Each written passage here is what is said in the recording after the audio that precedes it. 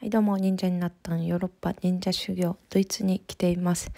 今日は友達のお父さんの誕生日パーティーまで近所ローラースケートしてきました。見てください。この動画 iPhone のシネマティックモードで撮りました。すごくないですか？映画の世界みたい私だけが立体的に映って背景がぼやけています。家からまだ行ったことない方向に滑り出しとりあえず上り坂がない方へ進んでみました。道路が滑りやすい。バイクロードといってちゃんとバイクマークの道があってローラースケートで滑りやすくなってます。小石さえ気をつけてればこけることはないかなと。撮影しながらでも滑ることができました。この辺臭かったですね。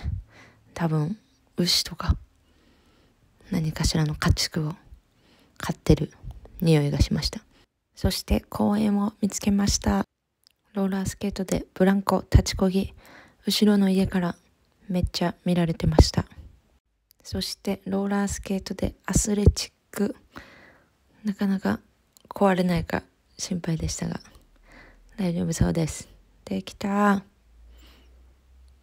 ローラースケートで丸太。これめっちゃ怖かった。いけるか？いった。落ちた。そこでこけそうになるんかい。逆向きも挑戦。ダメでした。公園楽しんだので先に行きます。道路が滑りやすすぎて天気が気持ちよすぎて歌を歌いながらノリノリでスケートを滑っていきます。そう実はこれ自撮り棒じゃなくて三脚棒を使っています。めちゃくちゃ重い。前から見た景色、空が綺麗。そして U ターンしてローラースケートで戻ります。街並みが可愛いっすよね。忍者、ローラースケートをしてるとき、口を開きがち。直したい。直せない。マンホール、忍。マンホールにジャンプ。ジャンプ。ジャンプ。ジャンプ。ジャンプ。ジャンプ。ジャンプ。ドゥンドゥンドゥンドゥンドゥンドゥンドゥンドゥンドゥン。ジャンプ。ジャンプ。ジャンプ。ドゥン。そしてまた滑ります。フットボール場。サッカー場の横。めっちゃ滑りやすかった。景色も可愛くて綺麗。ローラースケートで飛び箱、キック、スラロープ、休憩、ニン、再びアスレチック、登れるか、登れた、ローラースケートでアスレチック、いけるか、こっちみんな、またこっちみんな。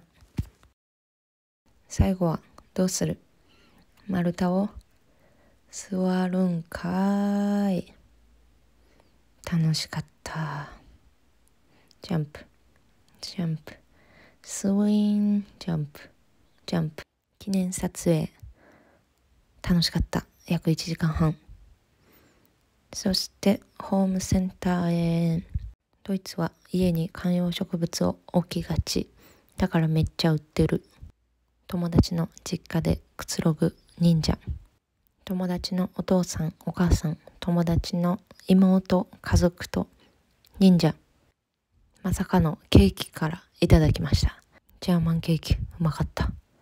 友達の姪っ子と仲良くなりみんなで散歩に出かけました。めっちゃ歌ってくれた。かわいい。